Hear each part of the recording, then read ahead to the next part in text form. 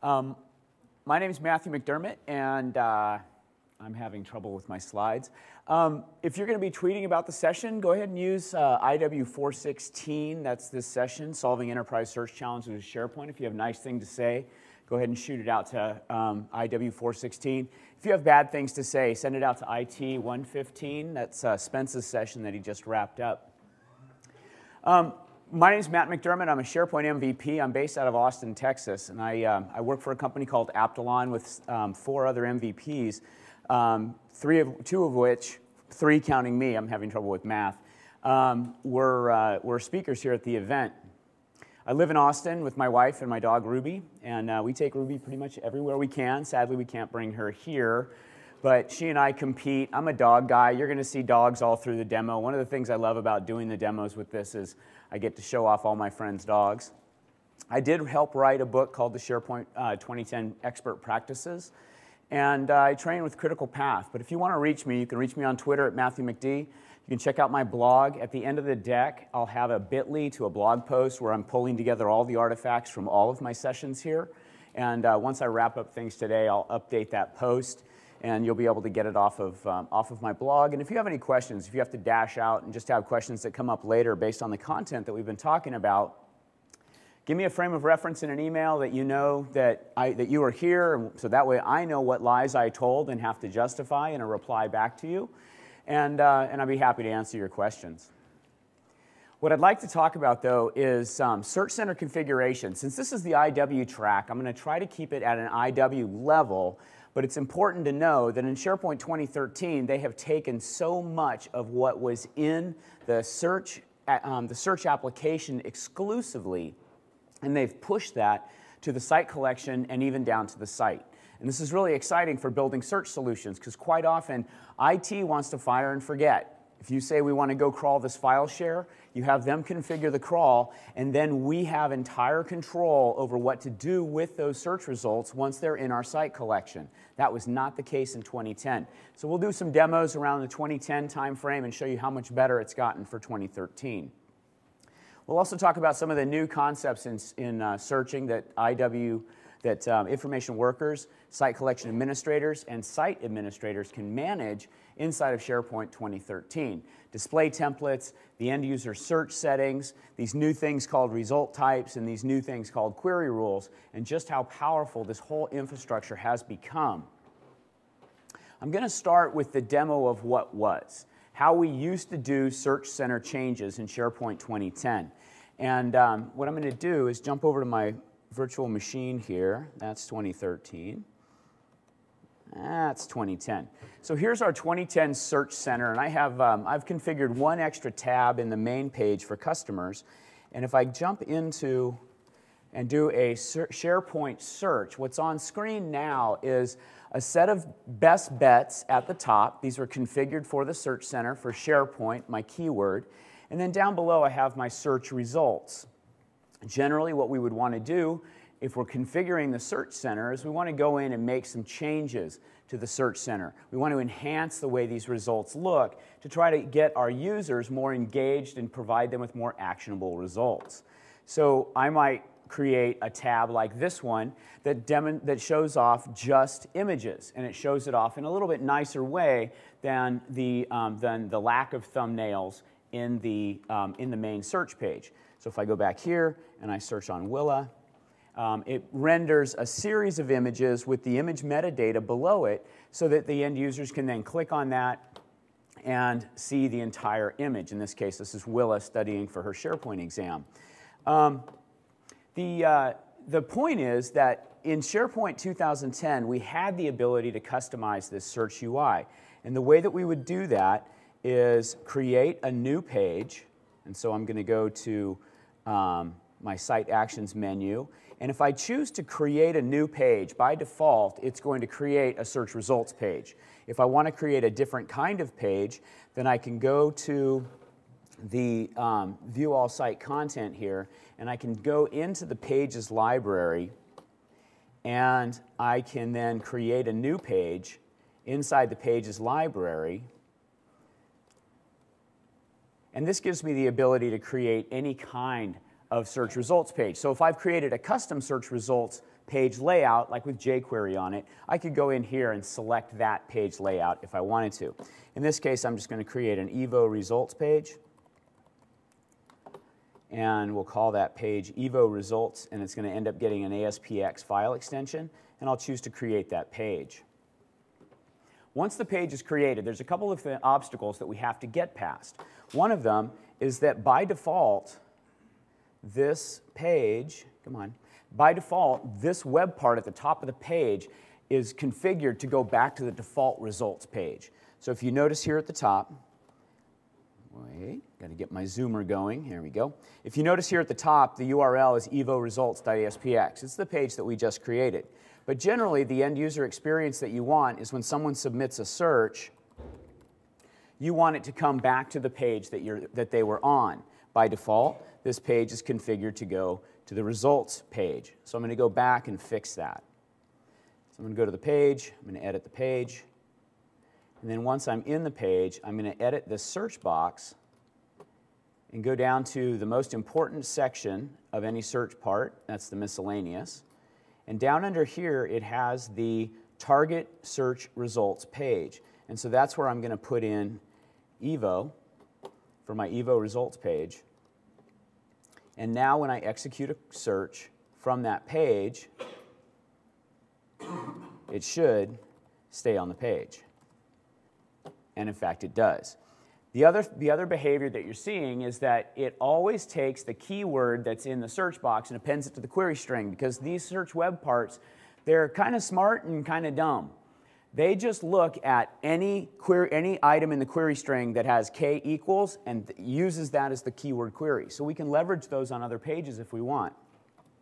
But what I want to do now that I have my search results is I want to start customizing them. And so in SharePoint 2010, this was nightmarish because ordinarily what you would do is you would edit the page.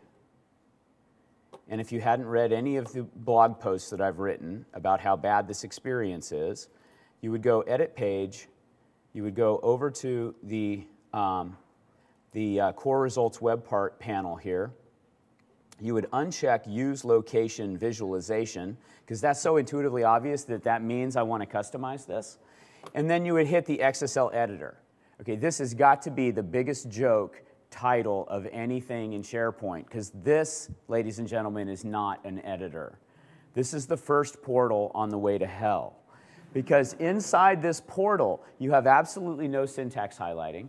You have, um, you have line wrapping, but it's really scary the way it does line wrapping. So what I do instead is I control A, control C, and I close that down just as fast as I can.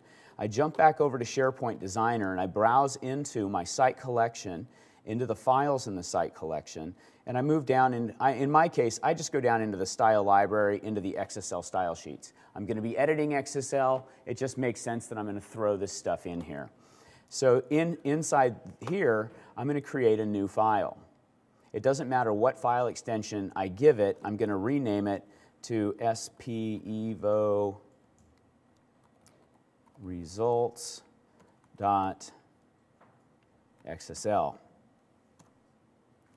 Yes, I want to change the file extension.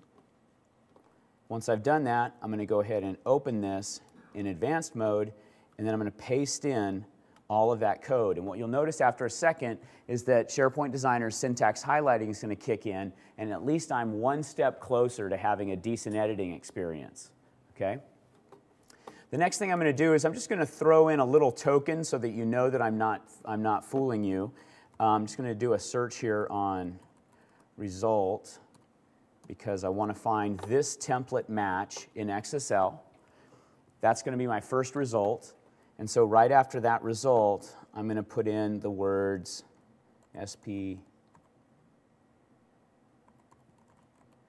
SharePoint Evolution.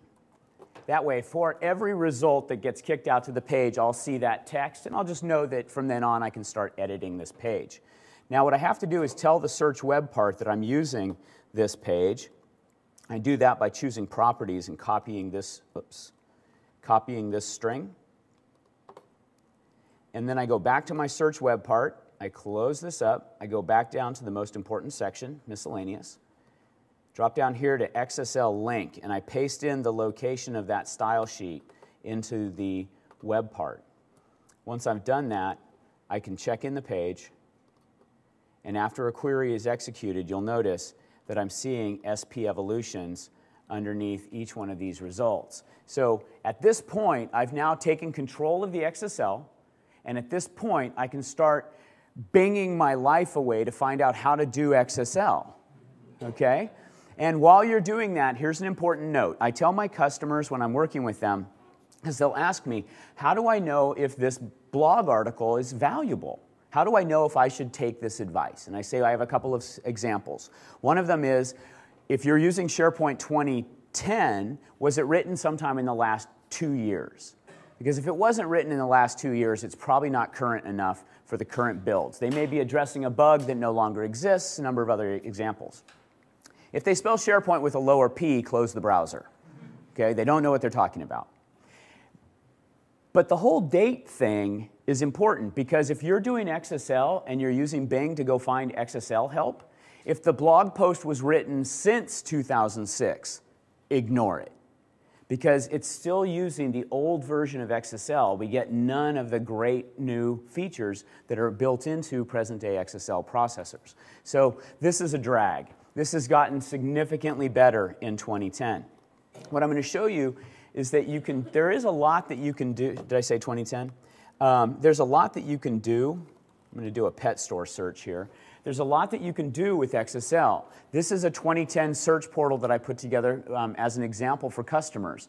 I have search refiners, I have my search results, I have a REST call out to Bing so that I can take the address of the location and I can send it out there and, um, and get a map of that location. This was awful to create an XSL. It was very, very challenging. When we do that in 2013, the, the, uh, the benefits become pretty obvious pretty quickly. So let me jump over to search here and I'll talk, I'm gonna walk you through the same exact process, but it's how we do it in 2013, okay? The first thing you have to realize is that when you're doing a search in SharePoint 2013, you are getting different kinds of results back, just like you were in 2010. The difference is each result is processed independently which means instead of getting back 100 rows of XML and having to plan in my XSL a for each, for each kind of content, and then when my administrators go add some new content, I've got to now go back to my XSL and plan for that. I now can think of what am I going to change? I'm going to change what a person looks like, or I'm going to change what a Word document looks like, okay? So let's say that we want to change what a oh, I'll make it easy on myself. Let's just change what a person looks like. I'm going to do the same exact demo that I did in 2010, but I'm going to do it in 2013, and I'm just going to put SP Evo on here after, let's say, after the name. So the first thing I do is I go into Design Manager. So here's Design Manager off of the cog, and remember, if you're in SharePoint and you're working, it's this cog right here. It's not this cog right here, okay? I, I really pity the help desk on that one. So then I'm going to go into, uh, yeah, mom, no, it's not the top cog. It's the cog, no, mom, it's the cog below that. Um, display templates, okay, this is the library where all of the display templates are held.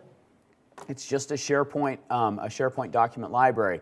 But what you want to do is go to Upload Design Files and then open this link and it'll open an Explorer view to the um, master page gallery. Then you can go into display templates and you can choose the ones for search. In case I forget to tell you later, if you decide to do all this stuff with refiners, which use the exact same technology, that's up here under filters. Okay, so these are the refiners and these are the um, SharePoint um, um, display templates. So I'm going to go down here and um, I'm going to find the item person, which is right here. And you'll notice there's a pair of these. For every file, for every HTML file, there's a sister JS file. Don't mess with the JS file. SharePoint manages those. If you delete the HTML, it'll come back and clean up the JS. When you provision a new HTML, it'll provision a JS. Don't mess with the JS file. So what I'm going to do is copy this to the, uh, copy this to the desktop. And I'm going to rename it. very first thing you should do is rename that file. So I'm going to call this evo person. And then I'm going to edit this in Notepad. Because it doesn't matter what tool you use to edit. You can use your favorite text editor. You can use Visual Studio if you want. You can use SharePoint Designer still. But you can, um, I like using Notepad++. It's just very quick. The first thing you want to do once you've opened this is retitle it. Because when this gets uploaded to that library, it's going to use the title attribute to put it into the select box you're going to see later. If you leave it the same, it's going to, you're going to have duplicates. It's going to be hard to figure out which one's yours. Um, as I go down into this, as I said, here is my username right there, the name value. Look, it's HTML. Um, and there's my div. So right here, I'm going to go SP evolution. I'm going to save the file. And now I can close this guy. And I can drag him back in, let it go. You'll notice it copied it in. It's down here at the bottom. I'm going to hit F5, and you'll notice now there's an item evo person.js. SharePoint just creates that sister file for me. Now what I have to do is associate, I have to associate the file that I just created with the results that I want to show using that file. So I'm going to go back to Site Settings. I'm going to go into Result Types. I'm going to cheat and find the person result type and just copy it and this is going to be my evo person. I'm going to leave all the values the same except for this, um, this selection. I'm going to tell it to use my SP evo people item. If I had not changed the name in the file, this would say people item. I would have two of them, okay? If you upload yours, this drove me crazy for about a half a day until I remembered that I was using SharePoint. If you upload yours and you forget to change the name, you can still go in here right out of SharePoint, and you can edit these items in your favorite editor. If you retitle it and save it, it won't retitle it on the list, and it's actually using the list value. So if that happens, you can either just delete the file and upload it again, um, or you can go back into the, uh, the design manager, go back into the design manager, and go back to edit display templates, and then just edit it here. So you can go here, it's just a list item, choose edit properties, and change the name here, and then it'll change it in the select list. So that's just a little, a little word, word of warning from uh, someone who's been there and tried to figure out how to get those names right without actually deleting the file. Okay, so I'm going to do that same search, do a search for SharePoint. I'm going to jump over to the People tab, and right away you'll notice here's SP, uh, here's SP Evolution. Okay, so it's only a little bit more complicated in terms of getting the wiring set up. You have to upload the file, and then you have to create a rule to say, when this happens, show this file. And I'll be going into a lot more detail on that in later demos. But the advantage is I get to work on one item at a time. It doesn't show up on the Everything tab unless there's actually a, uh, unless there's a people hit that actually shows my display template. In this case, these are different display templates, so it's not showing. So I can, it's very unobtrusive when you're working with these display templates. Okay, so in SharePoint 2010, we had XSL, we used SharePoint Designer, and we had to edit with the entire result set in mind. Okay? We also had to edit knowing that our XSL was only going to, only going to apply and all of our rules were only going to apply if the search center was using my XSL. If I create a new page, it's not using my XSL anymore. So not global. It, it was, it was an awful experience. I mean, it was better than 2007, but it was, it was still horrible. So we had the joke of the XSL editor and the portal. and now in 2013, we're using HTML. We can use any text editor that we want we work with one result type at a time, and we get hover panels for free. So when you're thinking about the way that a, um, the, the way that a search result looks, we get not only do we get the search result itself, but then we also have an infrastructure that's set up with an associated hover panel. So when you start thinking about how you want your end users to interact with SharePoint and in the Search Center, it's up to you to decide or up to a designer who knows absolutely nothing about SharePoint to decide what this stuff looks like. And then they can give us the design files and we can turn them into these display templates. The other huge, in, huge investment that Microsoft has made is they have pushed so much of the control of search down to the site collection and the site. Anybody know why? The cloud. What's that? They don't know anything about what to do with it. And so they pushed it down. They don't know what to do with it, so they pushed it down to us. Could be. Could be. Could be that all our, all our complaining is finally paid off. No, it's the cloud, right? You don't get to be a search administrator. You don't get to administer the search service application in the cloud. What you get is tenant administration. And as a tenant administrator, you can establish crawl sources and things like that but then you also push all of the, all of the uh, um, managed, managed properties and all of the query rules down to the site collection level. Okay? So what I want to show you is in 2010, if I'm on my search center here, or if I go to, here, let's tell you what, let's go to the, my intranet search center, and if I go into site settings, now what I have is a whole bunch of features related to search. So from a web level alone, I have the control over result sources, result types, and query rules. Schema is the new name for, man, for uh, the managed properties. And then my search settings, my searchable columns, etc. If I, uh, if I go in here to my result sources, the only thing you can't do from here is set up new content sources. You can't go crawl a file share from your site collection okay? But you get to control everything else. So once IT has configured that crawl, then we can start working on it from inside of SharePoint. So in this case, what I'm looking at are these things called result sources. And what they do, they're almost equivalent to what we had in 2010 when we were talking about scopes.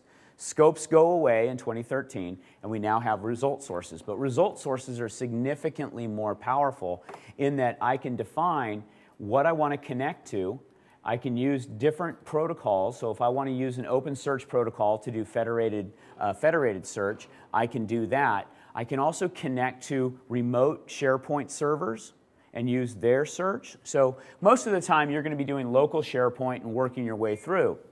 But in this case, I now have the ability to connect to um, remote SharePoint sites, um, um, um anything supporting the open search standard and Exchange from a result source. And then I have a query transformation that I can do. So for instance, if I'm going to connect to a remote server, I'm going to send the search terms to that server, but maybe that server also needs some additional information in the query string. I can add that here, or I can even transform the query altogether so that people don't get, um, so people get a better search experience. The other thing that I have in search settings, the other thing that I have in search settings is my search schema. So the search schema is what we used to call um, ma our managed properties. But if you'll notice, there are so many more properties available to us to decorate the, um, the terms in the, in the uh, managed property list. So the first one, type and multi, that's basically the data type and whether it's multi-value or not. And then I have attributes. Can I query it? Can it be included in the index? Can it actually be retrieved? So we have some, um, we have some properties that although they are in the index, they're not retrievable because we don't want to send them back out. We don't want them to be searched on. Sortable. Now you can define sorts for any managed property. That's a big deal. People have been asking for that in SharePoint forever. The only way we got that was in 2010 was with FAST for SharePoint. So now I can define sortable properties. Safe means if I'm executing an anonymous query, if I'm executing an anonymous query, am I going to return this property? So you may not want necessarily, you may not want to send all of the properties out to the UI unless you know who that user is. And that property allows you to do that. And then we manage these properties, we map them to the crawled properties out of the system. And so the value of using managed properties is that it's significantly faster than crawling the site. So in this case, like the About Me property happens to be mapped to the people attribute About Me, but any, any um, SharePoint site that's using a notes field, because that's the OWS underscore, will also populate that About Me. Okay? So in this way, we've kind of equated these two fields to the About Me property. But I now have this control, never had it before at the site collection level. I now have this control at the site collection level. What I can do is I inherit all of the ones from the farm, and then I can add my own new ones in here. I think that's cool. Probably the most significant change is this tenant administration in SharePoint 2010 or 2013. If you set them, so the question was, um, are they only available at the site collection? That's correct. If I set it at the site collection level, they're available to me at the site collection level and every subsite. If I do it at the web level, it's just that web. Okay? Now, I'm not saying that you're going to want to have 17 search centers. But if you think about the impact that search has on SharePoint, it's also content, um, it's also content by search parts, if you've seen some of the WCM demos, and it's also search, sites that are search driven, like knowledge management portals and things like that, would also benefit from having these unique settings. Correct. You can't modify crawled properties, just, just um, managed properties. That's two different questions. Okay, the first question was can you change managed properties? No. I mean, can you change crawled properties? No. But if you add new properties to a site, if you add new columns to a list, if you add new site columns to a site, you can trigger a recrawl of that site from this administration panel. Okay? what I've read so far, I'm still learning this, that part of it because I'm, I'm really, uh, I really work on the back end a lot, and I've been trying to push my demos more and more into here. But um, I, I, believe that it is not required to be a site column to become, okay, let me say it this way. I know that if you just create a regular list column, when it's recrawled, it will become a crawled property. But if you use site columns, they automatically become managed properties, and there's a known naming convention for those that's been documented on MSDN and TechNet. Okay? It includes a queue and includes TXT for the field type, and somewhere in there is your field name, but it's predictable. Okay? As opposed to the underscore in your name sometimes becoming percent 20 and sometimes not, and sometimes it's X0020. Yeah, now it's predictable. Uh, the last thing I want to show you on here is these two links right here configuration import and configuration export for the developers in the room, for the IT pros in the room that are working with developers, a developer will work on his development box, set up all the managed properties, set up all of these mappings, create all of this great configuration, create an app that can go against that, and then he tries to do it against the intranet after they've configured everything exactly the same as my box, and it doesn't work. Now what you're able to do is actually export the configuration of all the managed properties that you've put in and then import them into a new site, web, or farm. So that's a big deal. We now have portability in our search settings. The only thing, as I understand it, the only thing that it does not export is the display templates. It'll, it'll export the association to the display template, so the JS file in the rule is going to be in there, but you still have to put the, you have to either deploy or move the, the display templates yourself um, to make sure that those associations stay valid.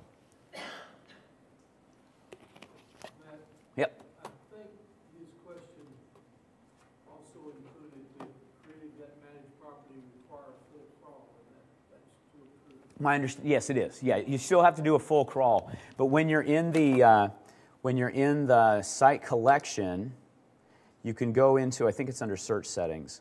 Um, oh, I should also say that we're not using a list for tabs anymore. We now have actual navigation provider for our tabs.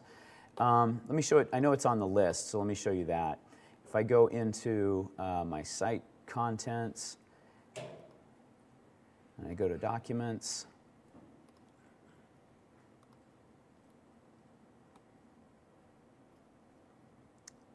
There was, I'm looking for it in here. I'll have to find it. I'm off script right now, so I'm, I'm struggling to find it. But there is a, um, there is a way to tell SharePoint to, there it is, reindex document library. Okay, so you can go in and you can say reindex the document library, and the crawler will pick that up as a task, and it'll come back and recrawl this document library for you. And there's throttling settings and all kinds of stuff on the back end to prevent every user in your entire environment from tripping a crawl all at the same time. So don't be worried about that. But, um, but suffice to say, the important part here is that if I need to recrawl my content, I can trip it from my site collection, and I think it's on a 15 minute timer job. It'll get picked up, and you'll start seeing your crawled properties show up. Okay? You could also, it's kind of unrelated, but you could also go to a specific document and say recrawl the document. Yes, you can. Yeah, so you're basically submitting a task with a URL back to the engine to come back and do that. All right. So, um, so lots of changes in the site collection. We have our site collection administrators and site administrators now have access to the, um, to the search settings.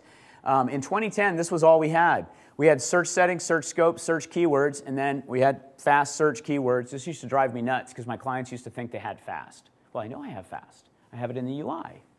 So, you know you don't have fast because you still have money in your pocket.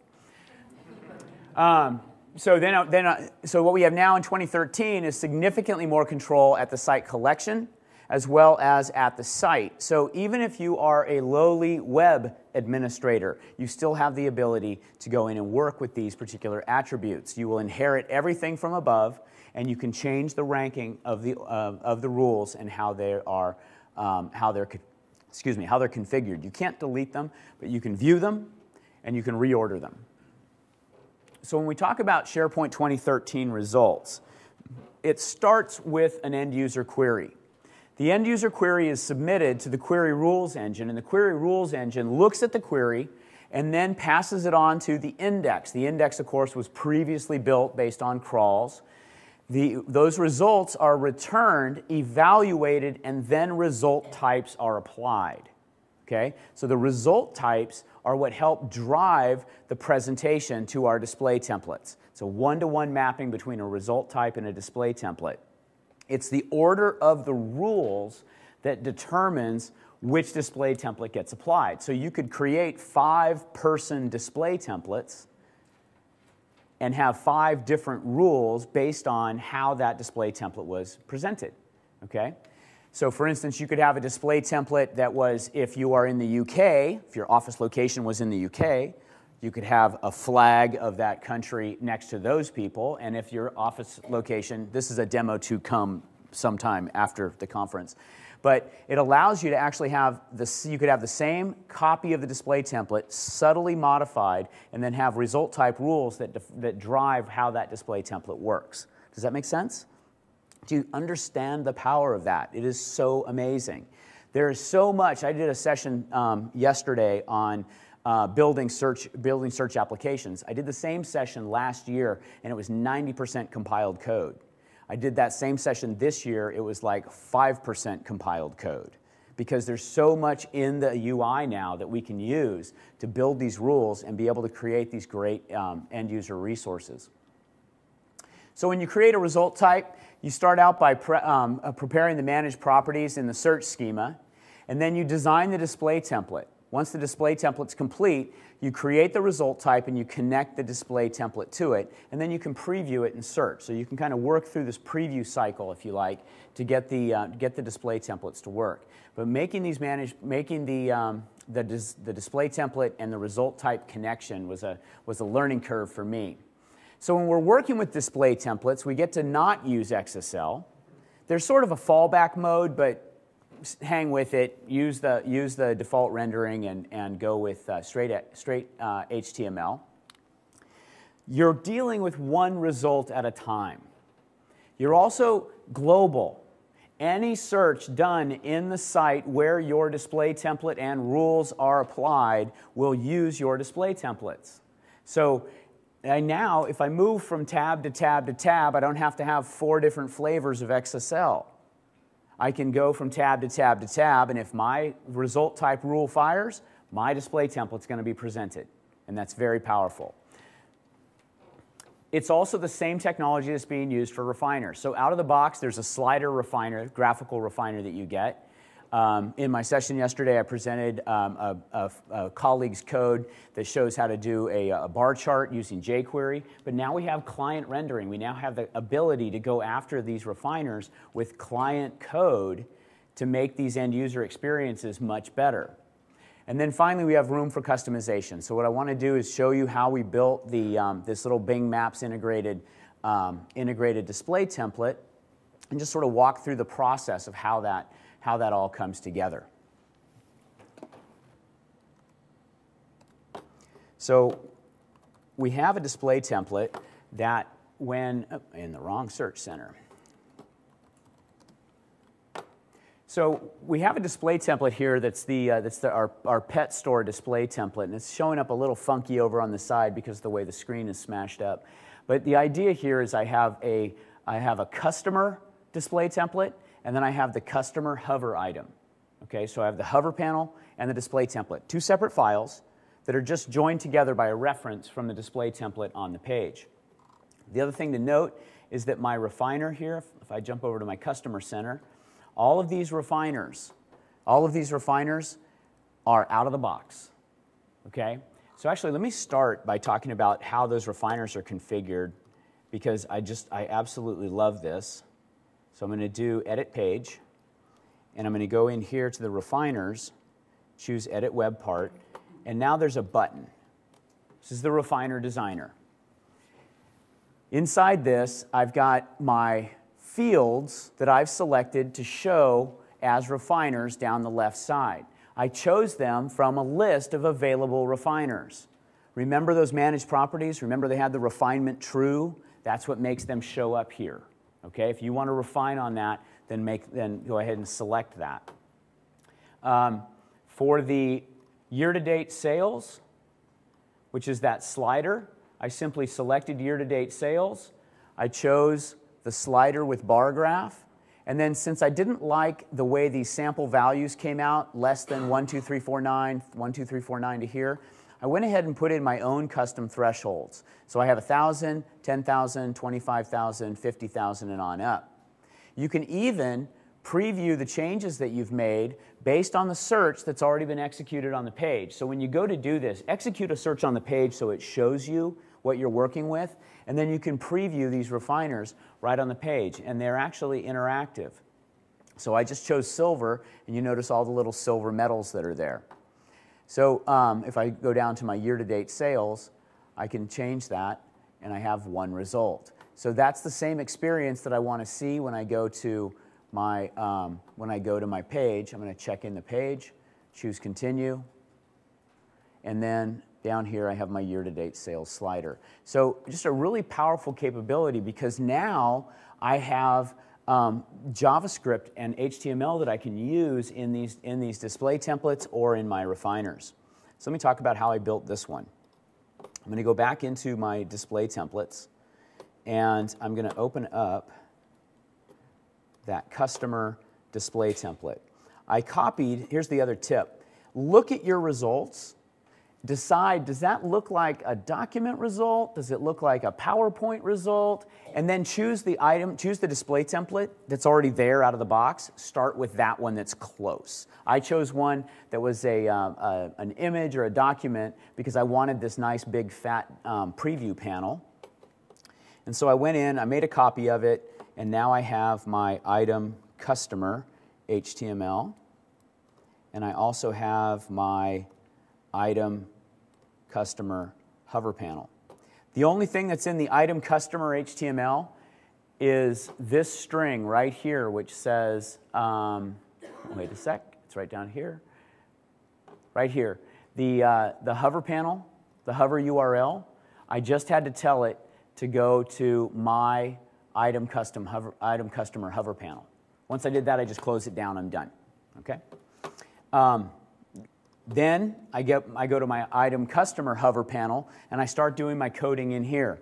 Once I set up my result type rule, that's what establishes the wiring between the customer item and the customer hover panel because of that JavaScript. Then I start working with my designers because now I know I have the plumbing working. So now I work with my designers to come up with this wonderful look and feel, and I get all that working.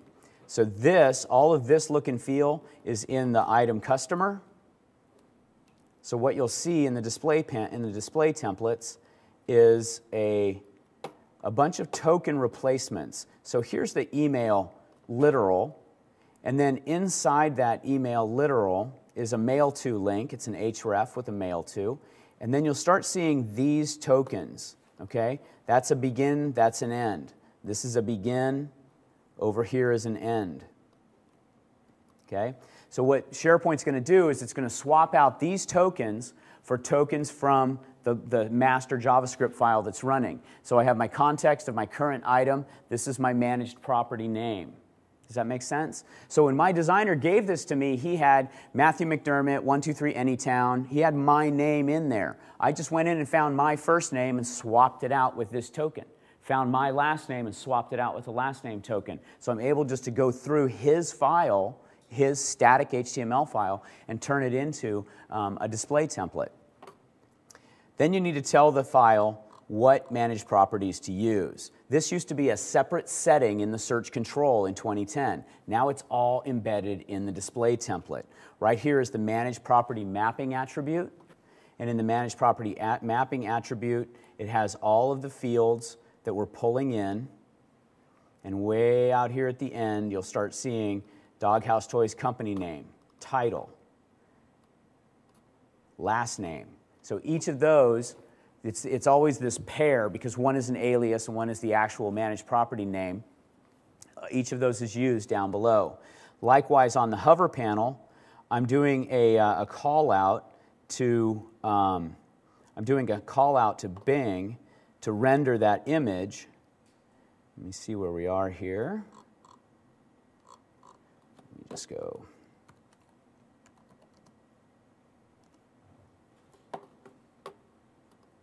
Here it is. So I'm doing a call out to Bing. Bing has a REST service that returns map imagery. So knowing that, all I have to do is put in this where one attribute and then start constructing an address. Address line one, address uh, city, state, zip, etc., country and region. I'm not going to keep going because it has my private key for how I get the results back because you do have to apply a private key and get, a, get an account with Bing to be able to do this. But that's all you have to do, and then every time this runs, it goes and fetches the map. So if I hover over the item, so if I go back here, I choose, uh, I choose to hover over the item, it's giving me the map in the hover card of the actual location. So display templates have targets. I've been showing you standard display templates. The target most often is going to be an item display template, which is going to be in the body of the search page as shown here. But you can also have a hover panel, which is over there. You can also have a filter display template, that's a refiner. You can have a group display template, which in, that, in this case, it's this horizontal people part but it's called the people intent item if you're looking for it and you want to create your own. I want to do this with videos. I want to do like four little videos across the middle there, and you can do that. There's also a control display template. The search boxes, the paging parts, those are all display templates now, and the control type is the one that they're using for those. So if you're trying to figure out which part of the page you want to affect, you're going to choose one of those different display templates to achieve that.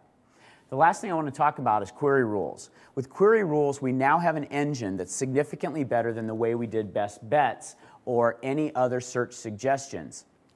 I'll show you a couple of different, um, different samples of some of the best bets that we get now. But you can also detect who the user is and take action. So for instance, that example I gave you before, where if I know the user is from a certain location, I can actually have access to their, the user profile. So I can say where user dot country equals, and I can start specifying those kinds of display templates using query rules. I can also act on the user's intent. I'll give you an example of that when I, when I go in, but when you do a search in SharePoint 2013, if you say SharePoint deck, there's already a rule in there that says, oh, I know what a deck is. A deck is a PowerPoint presentation. So it looks for just items that have PPT or PPTX. So you can do, if, uh, if you call movies flicks, and someone types in flicks, and you want to show them videos, you can do that kind of rule. And then the last one is the result blocks. You saw that in the people results. So you can create these result blocks that are either pinned to the top, like, like best bets were, or even cooler, you can have them float based on relevance. So think about this. I'm the author of, of many, many, many Word documents. So when I do a search, author Matthew McDermott's going to return hundreds of hits. So it's not very relevant for me to have a here are your documents that you're missing because you're not a very good searcher. But for my salespeople, they're terrible searchers and they're always looking for the same thing. They're always looking for the documents that they just authored.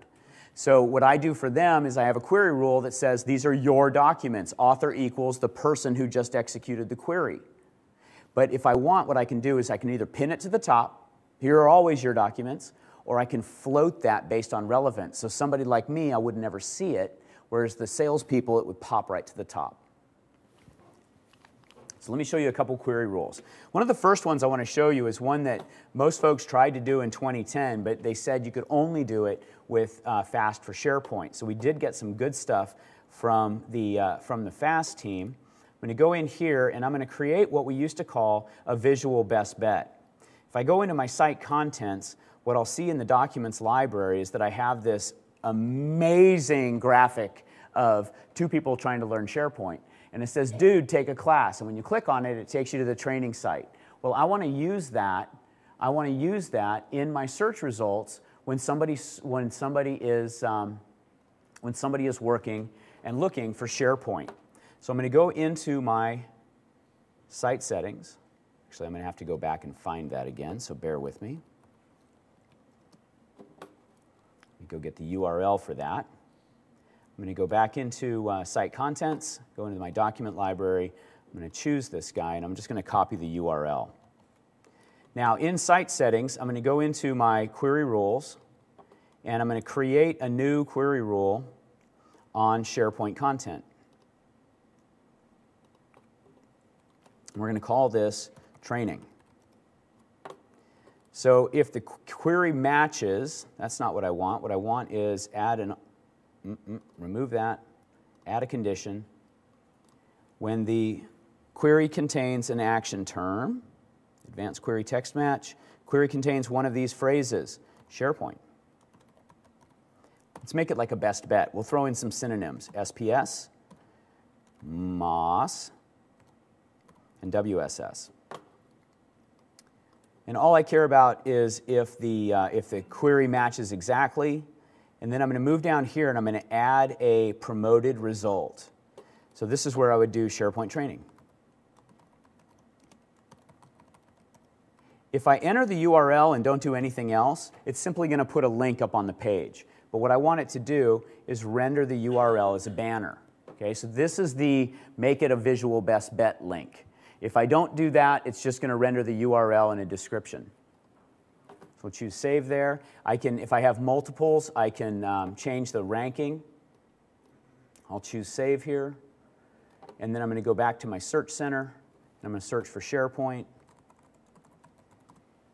And there it is. So it shows up right in the page. You can, you can uh, you know, hopefully you have better graphic artists than I do.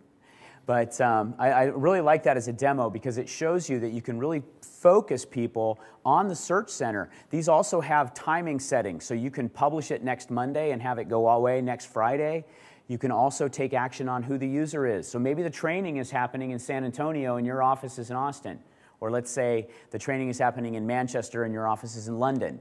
Um, how'd I do? About two hours, two hours away? Okay. Um, then you could have that training. If the person's office is in Manchester, then show them this. Otherwise, don't. Okay? Or show them a different one. If they're in London, show them the London training banner. You know, um, you know, you'd have Big Ben up there, or for Manchester, you'd have people fighting, right? Um, soccer fans, soccer fans fighting. Okay, all right. So, um, so what I want to do, so I did the visual best bets, I did the result types. I want to make sure I got through all of the demos that I wanted to show you. And I believe I did. Actually, let me show you one other that I really like. So if you think about when you search, when you're searching for SharePoint, there is this rule down here. There's this rule down here that's doing a people search using your keyword. Okay, so this is anybody who puts SharePoint anywhere on their profile shows up right there. And this is also a great opportunity for you to show, for me to show you two of my dogs. That's Eric Shupps's dog. That's Christina Wheeler's dog. Anyway, um, so it's a good search, but it's not a great search because these aren't my SharePoint experts. Well, they are, but these are people who have SharePoint on their profile. What I want to see is people who actually say in their profile, it is a skill of mine. I am an expert about this. Okay? We'll call them the SharePoint team. So I'm going to go back into my query rules. Come on, there we go. I'm going to go back into my query rules, and I'm going to create a new query rule. And we'll do this one on local SharePoint results, create the query rule, and call the SharePoint team.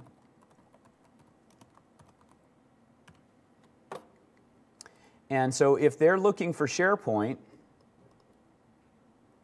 if they're looking for SharePoint, like we did before, oh, you know what, I can just reuse. Let's do this. This is, this is the other cool thing about query rules, is I can add, since I've already got this rule working for SharePoint, I'm going to add another result block. In this case, we're going to say this is the SharePoint team because we have it hard coded that way.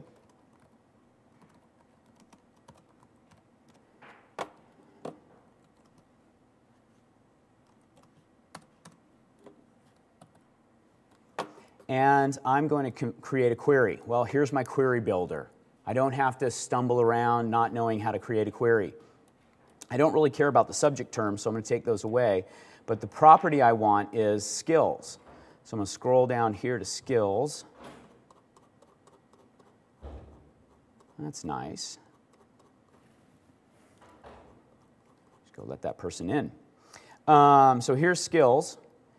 And I'm going to say skills equals, or actually skills contains, because they could have other skills. I'm going to do a manual value, and in this case, we'll just call it SharePoint. And I'll do add property filter. Now, how do I know I got it right? Ah, test query. Ooh, no results. Skills, original query source. I want to run this one against local people. Test the query. There we go. There's my SharePoint team. So I'm going to go, okay, you can also do sorting. You can choose how to stack rank them. Um, all kinds of things in here. It, it, it is literally a brand new engine to all of us. So I chose OK there. I chose OK there.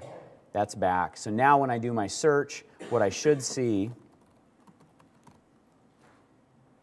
is I should see my SharePoint team. But look, they're, they're probably on the next page, or I probably missed something.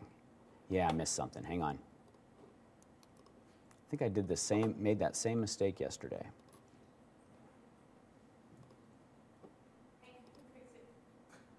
Hurry up and fix it? I will. No, I said Hank can fix it. Yeah, Hank can fix it. That's right. That's right.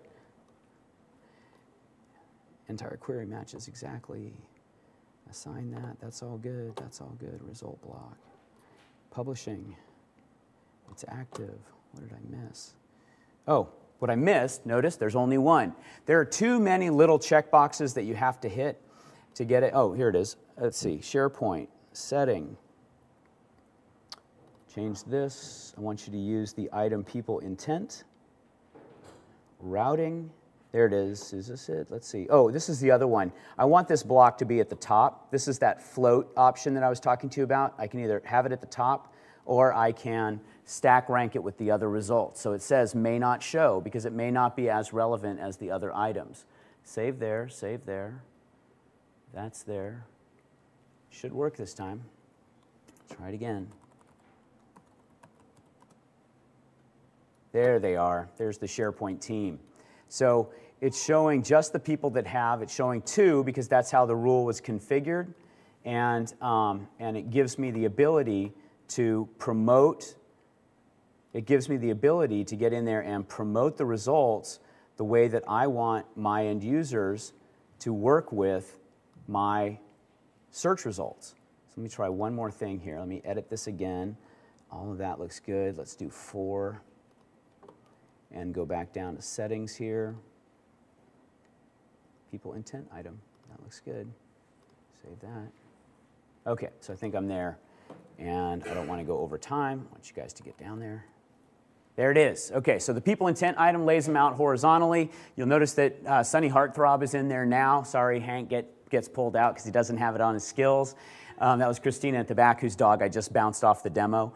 And, um, and you see them uh, or, organized by, uh, by relevance now because Willa happens to be the most clicked on um, person in my organization when I do SharePoint searches. So the click-through relevance is, be, is driving the order of the, um, of the results on that page. All right. So one, one search engine to rule them all. We now don't, we don't have SharePoint with Fast for SharePoint and all of these other search engines. We just have SharePoint Search. Same search engine in Exchange 2013.